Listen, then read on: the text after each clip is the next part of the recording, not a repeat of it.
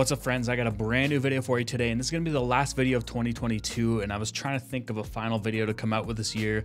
Um, I'm just to do a recap of some of my favorite camera gear that I covered. Basically, it was nonstop. There was so much stuff that was released and we even hit 200,000 subscribers this year, so that's pretty cool. But I'm just to talk about the things I like this year as well as make some predictions for 2023 and I feel like every month there was some new camera lens coming out. And instead of killing myself this year, I decided just to focus on the things I really wanted to review. And I also tried to branch out and do a little bit more smartphone photography this year. And I started the year off with the Samsung Galaxy S22 Ultra. And out of all the phones that I shot with this year, I'd say that this is arguably the best camera system on any smartphone that I use this year. And it has a 12 megapixel ultra wide, 108 megapixel wide, 10 megapixel 3x telephoto as well as that crazy 10x telephoto camera. And like I usually do, I try and do the pro camera versus smartphone portrait shoot.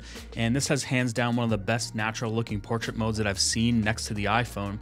And the images I got from this were awesome. Even when pixel peeping, I was able to see some nice subject isolation as well as background blur. And I think it's one of the nicest designs too. It's not a crazy protruding camera bump in the back. It's got nice, just small individual camera lenses. It's really nice and clean. Yeah, and then things were a little slow for a few months until Fuji dropped a huge camera, and that was the X-H2S. And I'd say that this was probably my favorite Fuji camera that came out this year. It was a big release, and this has a 26 megapixel stack sensor, and that's what makes it special. It's insanely fast readout speed, makes it incredible for high speed photography as well as video because there's such little rolling shutter. And the camera can shoot 4K, 422 up to 120 frames per second. It also does 6.2K open gate, which not many cameras offer. And I hope some cameras will start having that because it's really nice to get that full sensor. Um, I've had a few clients this year ask me, well, a few clients for the last couple years asked me for vertical and horizontal video. And with open gate, you get a lot more information at the top and bottom of the image, so you can easily crop for a 9 by 16 or a 16 by 9. I overall love the image coming out of that camera, especially now they've added f-log 2 for more dynamic range. And I'd love to see this sensor in other Fuji cameras, but maybe they're just going to preserve it for the XH line. But all that said, how awesome would that sensor be in like an X100? And then not long after that, Sony actually dropped three ultra wide lenses for APS-C. So 11 f1.4, 15 f1.4 and then the 10 to 20 f4 power zoom they were all awesome little lenses i really love the 15 millimeter a lot it's nice light small super sharp but i do feel like these lenses are kind of expensive especially for aps-c but obviously you're going to get the best image quality the best autofocus when compared to a third party lens at the same focal length and speaking of aps-c sony actually didn't update the A6000 line like I thought they were going to, but they did come out with an FX30, which is an APS-C version of an FX3. I played around with it at some Sony events, but I didn't really have enough time to make a review. Another APS-C lens I really liked this year was the Viltrox 13mm f1.4, and I reviewed that for the Fuji system and I shot that on the X-H2S, and I was actually really impressed with not only the image quality, but just the autofocus, it was super good. And I'm saying this because it's better than most of Fuji's own lenses. And I have a weird love-hate relationship with Fuji lenses because the autofocus is good on some and not on others. It's kind of inconsistent when you're looking at other lenses, but this little Viltrox was actually pretty cool. Super odd focal length. I don't think Fuji really has anything like it. A 20 millimeter full frame equivalent f1.4. But I just thought I'd throw this in the list of gear because I actually really like this lens. And while we're on the Fuji, they also released the X-H2 shortly after the X-H2S, and then later this year they also released the X-T5. And although those are great cameras, I really don't feel like they stood out to me the same way that the X-H2S did because I feel like Fuji just set the bar so high with that camera.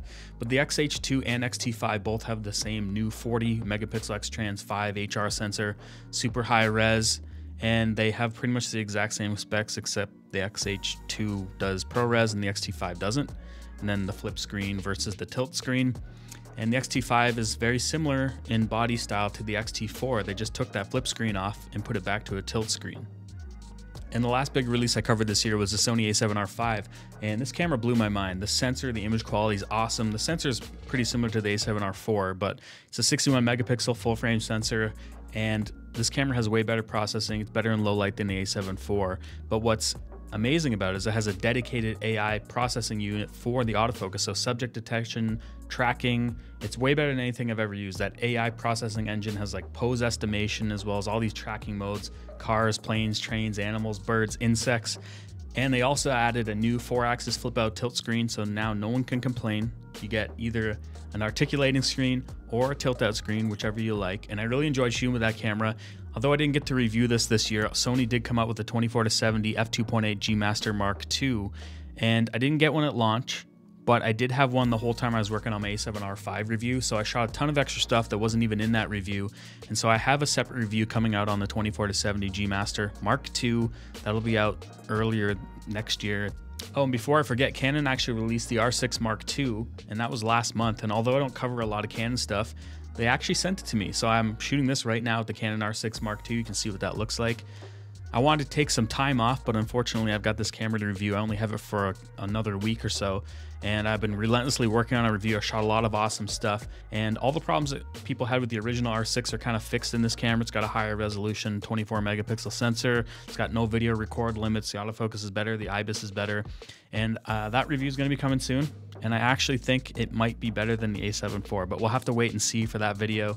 Okay, so this video is getting a little bit long here, so we're gonna probably end it here for my favorite things of 2022, but looking to 2023, there's gonna be a few predictions here. A few of these things are rumors on what we can expect to see, and a lot of these things are kind of just going based off the last time they released. So I think that Sony will probably have to update the APS-C line. Those A6000 cameras came out in 2019, so the A6100 the 6400 and the 6600 we're probably going to see an update to those because this will be going into the third or fourth year. Um, they've got to update that sensor it's got to have better rolling shutter performance 4k 60 as well as 10-bit video. Of course these cameras are going to be updated with the new menu uh, it's going to be touching the menus but i also heard a rumor of the a7000 where it would be like an a7 body with an aps-c sensor I don't know if that's going to come out, but it would have better cooling, better IBIS, more room for that stuff.